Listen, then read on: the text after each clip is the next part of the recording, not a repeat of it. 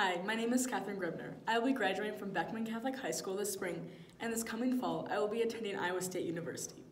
Here at Iowa State, I plan to be active within the St. Thomas Aquinas Student Center, where I am able to maintain my standings of my pro-life beliefs if and when questioned on campus.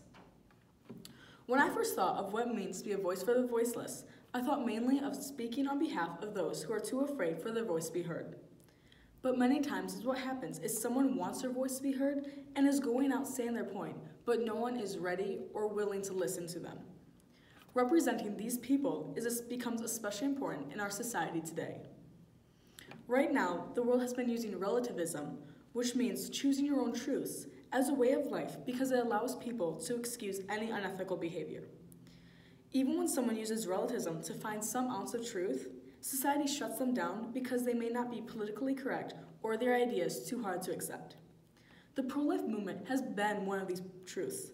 There have been so many examples of society trying to shut down the pro-life movement because it is not easy to accept and to live by, especially with the morals that society allows.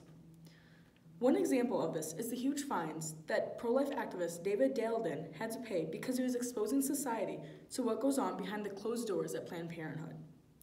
While he is going through legal trouble, his efforts to go out and give all these men and women affected by the dangers of abortion a voice makes the risk worth it in the long run. Along with Mr. Daleiden, another advocate who has been able to get past society's hopes of hiding them and their truths is Abby Johnson.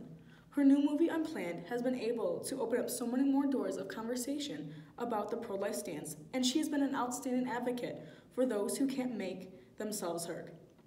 Since she first started, on the pro-choice side and is now deeply pro-life. Anyone who has been too scared to change their beliefs or is questioning some of the morals of the pro-choice side are able to follow her previous example and share their voice too. She is letting so many people find the truth that they long for through her own voice. Now, coming from a large family and as the third oldest of seven kids, there's been many times when some of us siblings have had to gather and chat to figure out a way to break some news to mom and dad or to ask them for something.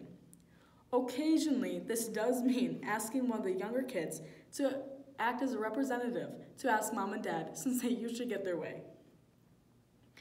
But now, sometimes, an older sibling has to stand up for one of the younger siblings and to speak for them to help our parents understand a full story.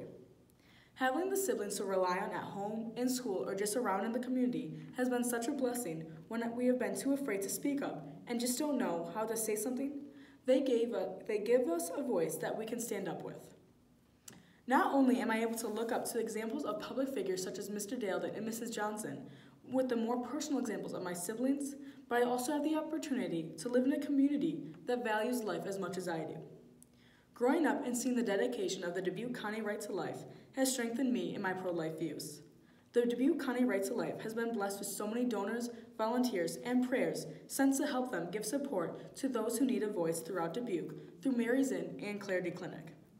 I am so proud and honored to be able to support this organization that helps give a voice to the voiceless and to carry on the tradition of truth for the generations to come.